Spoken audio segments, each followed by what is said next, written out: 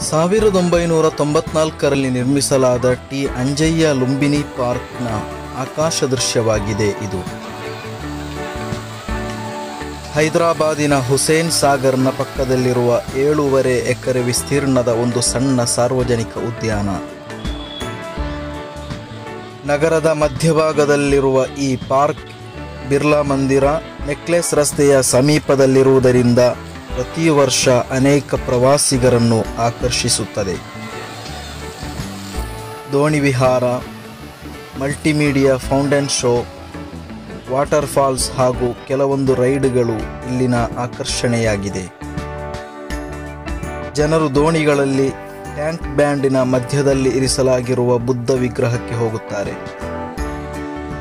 ಆಂಧ್ರ ಪ್ರದೇಶದ ಮುಖ್ಯಮಂತ್ರಿಯಾಗಿದ್ದ ಟಿ. ಅಂಜಯ್ಯನವರ ಗೌರವಾರ್ಥ ಅವರ ಹೆಸರನ್ನೇ ಈ ಉದ್ಯಾನಕ್ಕೆ ಹೆಸರಿಡಲಾಗಿದೆ.